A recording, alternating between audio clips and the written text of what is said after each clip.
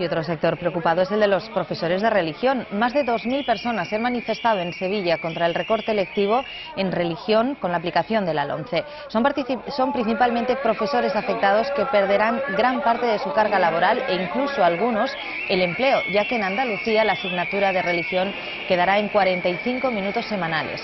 Les han apoyado padres que defienden la permanencia de la asignatura. Afirman que el recorte responde a una posición ideológica y que no se tiene en cuenta el problema laboral que genera al que tachan de ERE encubierto.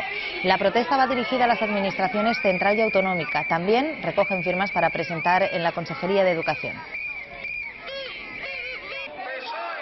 Las decisiones políticas, tanto del Gobierno de España como del Gobierno de Andalucía, de reducir la carga lectiva a la mitad, supone que nos podemos encontrar con que sobramos la mitad de los trabajadores aquí en Andalucía, o sea, más de mil, o que todos nos quedemos con la mitad del sueldo, con un sueldo de miseria, porque sería muy por debajo del salario mínimo. No tiene ninguna razón de ser que esta asignatura se la intente rebajar a la mitad eh, con ello se perdería calidad, por supuesto, en la asignatura y lo peor que nos tememos que es la pérdida de puestos de trabajo. Y los profesores de religión tienen unos derechos que hay que respetar. Estamos hablando de nuestro futuro laboral y no podemos permitirnos que por cuestiones ideológicas ningún gobierno pueda pisotear nuestros derechos. Somos nosotros los padres los que, los que elegimos que nuestros hijos den religión, ¿me entiendes? No es nadie, es optativa, pero somos nosotros los que lo elegimos.